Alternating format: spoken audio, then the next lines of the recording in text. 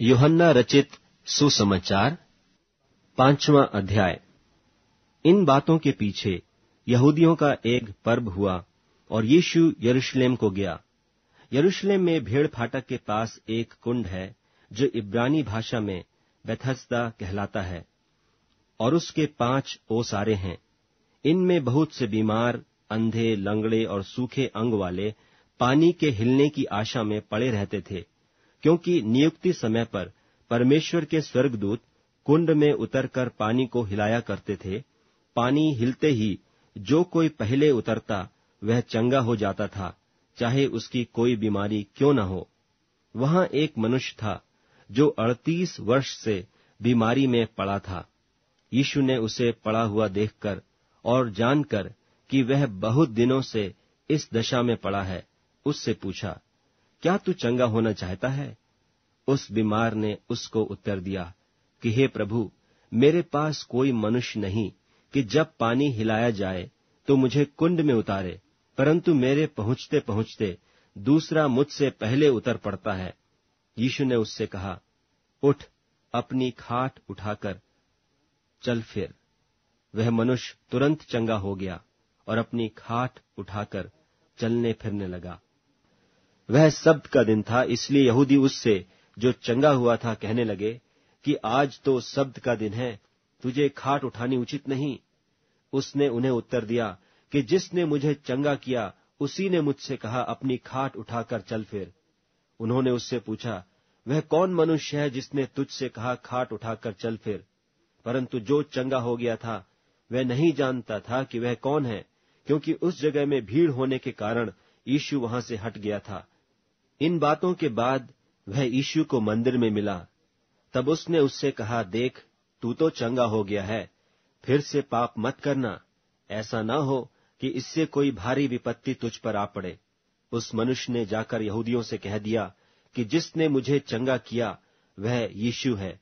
इस कारण यहूदी यीशु को सताने लगे, क्योंकि वह ऐसे ऐसे काम शब्द के दिन करता था। इस पर यीशु ने उनसे कहा कि मेरा पिता अब तक काम करता है और मैं भी काम करता हूँ। इस कारण यहूदी और भी अधिक उसे मार डालने का प्रयत्न करने लगे कि वह न केवल सप्त के दिन की विधि को तोड़ता, परंतु परमेश्वर को अपना पिता कहकर अपने आप को परमेश्वर के तुल्य ठहराता था। इस पर यीशु ने उनसे कहा, मैं तुमसे सच सच कहता हूँ, पुत्र आपसे कुछ नहीं कर सकता, केवल वह जो पिता को करते देखता है, क्योंकि जिन जिन कामों को वह करता है उन्हें पुत्र भी उसी रीति से करता है, क्योंकि पिता पुत्र से प्रीति रखता है, और जो जो काम वह आप करता है, वह सब उसे दिखाता है, और वह इनसे भी बड़े काम उसे दिखाएगा, ताकि तुम अचंभा करो।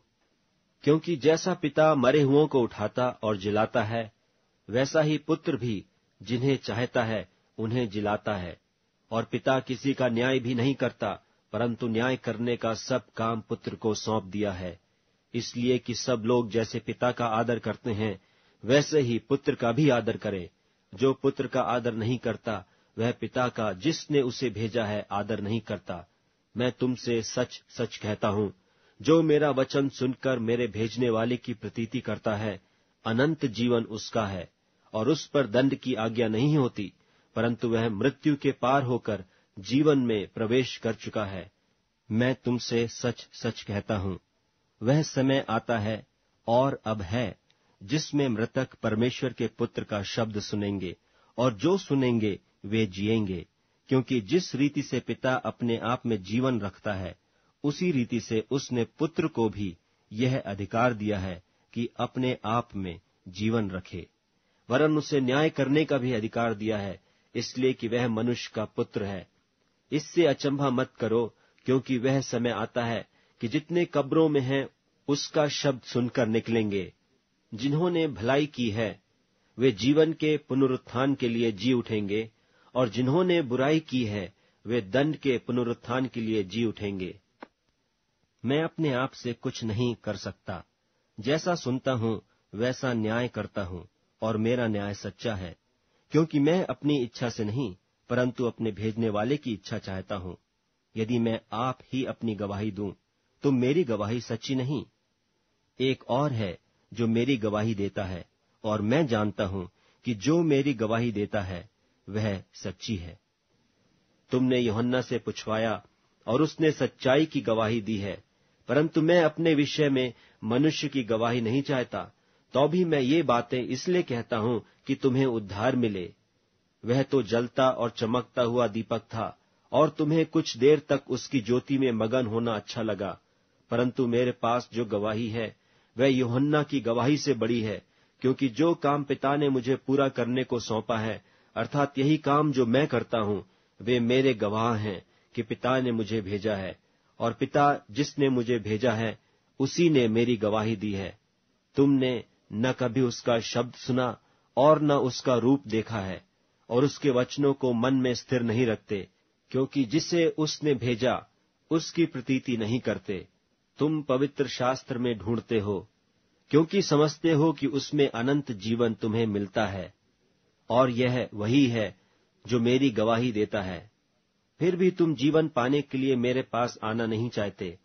मैं मनुष्यों से आदर नहीं चाहता, परंतु मैं तुम्हें जानता हूँ कि तुम में परमेश्वर का प्रेम नहीं। मैं अपने पिता के नाम से आया हूँ और तुम मुझे ग्रहण नहीं करते। यदि कोई और अपने ही नाम से आए तो उसे ग्रहण कर लोगे। तुम जो एक दूसरे से आदर चाहते हो, और वह आदर जो अद्वैत परमेश्वर की ओर से है, नहीं चाहते, किस प्रकार विश्वास कर सकते हो? यह ना समझो कि मैं पिता के सामने तुम पर दोष लगाऊँगा। तुम पर दोष लगाने वाला तो है, अर्थात मूसा, जिस पर तुमने भरोसा रखा है। क्योंकि यदि तुम मूसा की प्रतीति करते तो मेरी भी प्रतीति करते, इसलिए कि उसने मेरे विषय में लिखा है। परंतु यदि तुम उसकी लिखी हुई बातों की प्रतीति नहीं करते तो मेरी बातों की क्यों कर प्रतीति करोगे?